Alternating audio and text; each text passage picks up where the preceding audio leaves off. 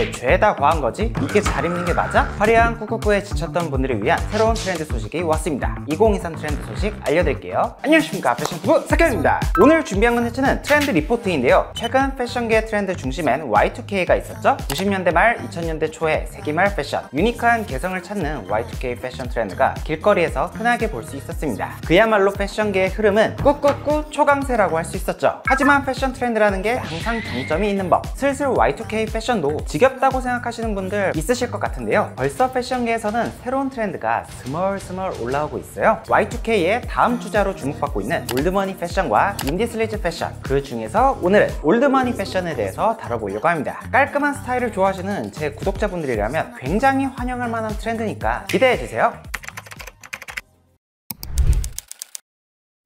old money 패션의 사전적 정의는 기존의 오래된 상류층을 일컫는 말로 신흥부자를 뜻하는 new money와 대조되는 개념인데요. old money의 특징이라면 집안 대대로 내려온 유산을 받고 유복한 가정 환경에서 좋은 교육을 받고 자란 만큼 고상하고 귀족적인 분위기를 풍기는 게 특징이죠. 한국에서는 이부진 신라호텔 대표님을 떠올리면 쉽게 이해하실 수 있을 거예요. 미니멀리즘 기반의 timeless한 디자인들, 눈에 띄는 로고나 장식은 지양하되 옷의 소재, 질, 디테일 등에 집중하는 패션이죠. 기존 트렌드의 중심에 있었던 new money들의 과시적 소비 형태 flex 문화에 대중들은 점점 실망하기 시작하면서 선망의 대상이 뉴머니에서 올드머니로 바뀌게 되었습니다. 화려한 로고 플레이, 과시적인 명품을 입으면서 뽐냈던 성공한 셀러브리티 투자가, 신흥 재벌, 인플루언서 같은 신흥 부자들의 과시 형태가 더 이상 쿨해 보이지 않게 됐고 귀티나고 고급스럽고 태나는 옷을 입은 old money의 클래식한 스타일이 다시금 각광받기 시작했죠. 최신 트렌드를 가장 빠르게 반영하는 틱톡에서도 old money 패션, old money 스타일, old money outfit 등의 키워드가 각각 좋아요 수만 36만, 37만 77만, 77만을 기록한 걸 보면 글로벌적으로 핫한 new trend라고 할 수 있죠. 돈이 많은 재벌들의 패션이 전부 old money 패션이냐? 그건 아닌데요. new money와 반대되는 개념인 만큼 품이 있고 내면에서 올라오는 우아함이 중요한 포인트인 만큼 고급진 아비투스를 지닌 스타일이라고 할 수가 있어요. 올해 2월 화제가 되었던 이부진 대표의 하객룩 패션을 보시죠. 지금 맨 가방 얼마일 것 같으신가요? 재벌이니까 당연히 수백만 원은 족히 넘을까요? 이 가방은 프랑스의 데스트리라는 브랜드의 제품으로 550유로, 한화로 약 70만 원대 가격이죠. 일반인들도 몇백만 원짜리 가방은 쉽게 드는 시대인데도 불구하고 검소하면서 자신만의 취향을 드러낸 old money 패션의 대표 케이스라고 할 수 있습니다. 가격이 중요한 게 아니라 노블레스 오블리주, 사회적으로도 모범이 되는 귀티나고 교양까지 갖춘 스타일을 뜻하는 것이죠.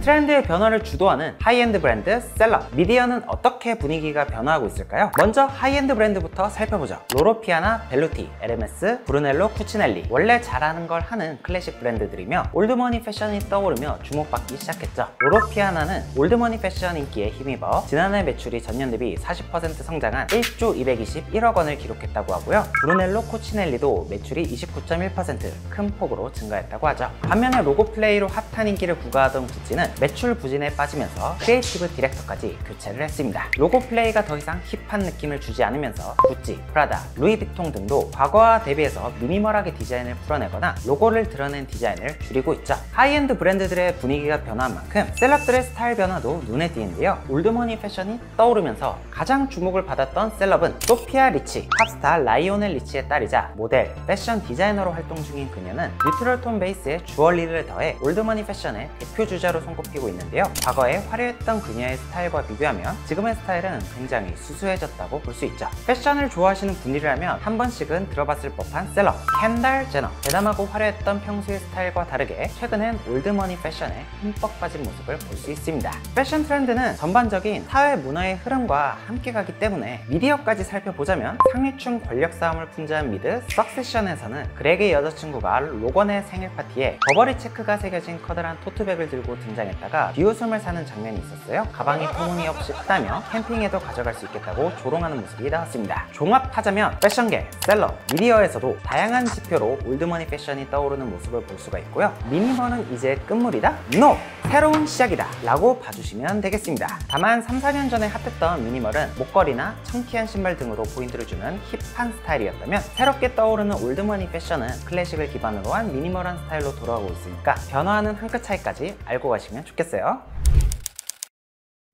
마지막 파트에서는 old money 패션을 잘 입는 포인트들을 소개해 볼게요. old money 패션의 특징이라면 less is more 미니멀리즘 기반의 timeless한 디자인이죠. 그렇기 때문에 클래식한 스타일, 좋은 소재를 사용하는 브랜드를 찾게 되는데 대표적인 브랜드로는 로로피아나, 벨루티, 더로우, 에르메스 같은 하이엔드 브랜드와 브룩스 브라더스 같은 클래식 브랜드들이 있습니다. 하이엔드 브랜드는 일반 대중이 도전하기에는 금액대가 꽤 있지만 브룩스 브라더스 같은 경우는 season off를 노리면 충분히 좋은 가격으로 구매할 수가 있어요. 단독 컨텐츠로 소개한 적도 있지만 생각보다 퀄리티에 비해 가격대가 크게 비싸지 않습니다. 지금이 딱 저점 매수할 수 있는 시기라고 생각해요. 국내 브랜드로는 타임옴므를 다시 주목하셔도 좋을 것 같고요. 최근엔 고급 소재, 캐주얼을 지향하면서 감성도 비교적 young해졌죠. 조금 더 가격대를 낮추면 코트 부분의 category killer론 마마가리 일반인 기준으로는 귀티나는 퀄리티 충분히 가능하고요. 지금 한창 역시즌 세일 중이니까 미리 구입하시는 것도 나쁘지 않습니다. 그 외에는 포터리, 어나더 피스, 더니트 컴퍼니, 넘블랭크 같은 domestic 브랜드들이 클래식과 미니멀을 지향 하면서 접근성 있는 가격에 소재까지 신경 쓰는 브랜드들이죠. 자기의 예산에 맞춰서 브랜드를 선정하시면 좋을 것 같고요. 주요 스타일링 포인트를 짚어드리자면 컬러는 화이트, 베이지, 브라운, 카키 등의 neutral tone을 사용해서 고급스러운 꾸안꾸 tone on tone 매치가 가능하고요. 블랙, 차콜, 네이비, deep green 같은 클래식 컬러들을 활용해서 코디해보셔도 좋을 것 같습니다. 주요 아이템으로는 니트, 셔츠, 슬랙스, 치노 팬츠, 재킷 등으로 대표적인 클래식 웨어들을 활용하시면 좋은데 가지고 있으면 좋을 아이템들은 화이트 컬러의 non-washing 스트레이트 데님 팬츠 혹은 치노 팬츠 데님보다는 단정하고 깔끔한 느낌을 주면서 tone on tone으로 활용도 높은 클래식의 기본 아이템이죠. 다림질 잘 된 화이트 셔츠의 중요성도 말해 뭐해 당연히 필수적이고요. 전통 tailoring에 기반한 좋은 소재의 폴로 셔츠와 니트 클래식하면 떠오르는 디자인인 만큼 여름 old money 패션의 대표 주자죠. 구매하실 때 주의하시면 좋을 포인트로는 너무 boxy한 daddy fit과 터질 듯한 slim fit은 둘 다 안 됩니다. 대신 세미 오버핏이나 심플한 오버핏 정도를 추천드려요. 미니멀리즘에 기반한 스타일이기 때문에 디테일은 최소화하는 게 좋겠죠. 마지막으로 old money 패션은 tailoring을 기반으로 하는 스타일이기 때문에 괜찮은 소재의 벨트, 블랙 브라운은 무조건 가지고 있으면 좋은데 요즘엔 reversible로 블랙 브라운, 양면 가죽을 사용한 제품들이 나오기 때문에 이런 걸 구매하면 10년은 착용할 수 있겠습니다. 이렇게 오늘은 새로 떠오르는 트렌드, 올드머니 패션에 대해서 다뤄봤는데요. 제 채널 아이덴티티와 잘 맞는 패션이기 때문에 앞으로도 자주 소개하게 될 것 같습니다. 귀티나는 이미지를 만들고 싶다면 제 채널까지 구독해주시면 감사하고요. 저는 그럼 다음에 더 좋은 패션 컨텐츠로 찾아뵙겠습니다. 안녕!